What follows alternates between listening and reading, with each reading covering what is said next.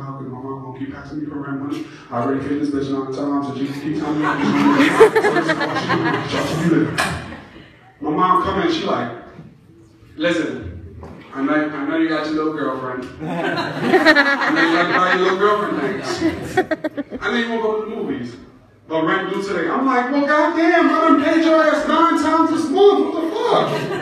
I done helped you pay your friend's rent and all that. Fuck. Damn.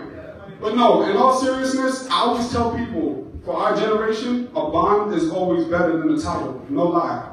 Your mom will always have your back no matter what.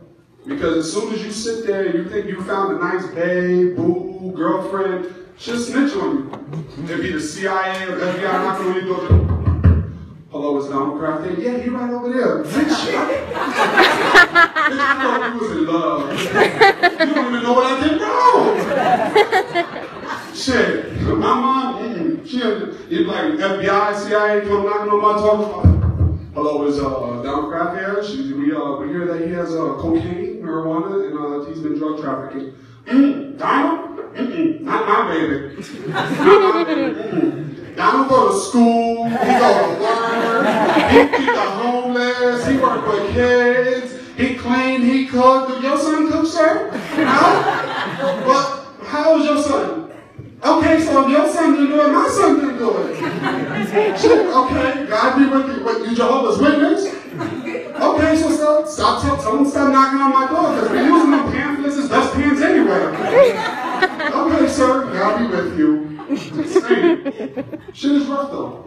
Shit is real rough. But uh, I just became uh, a godfather, so that's, that's something new for me.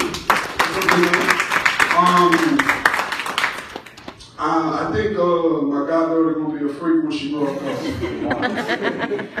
because um, she'll, she'll take the milk, right? She starts squirting it on her face. I'll be like, damn, girl, you just like your mom.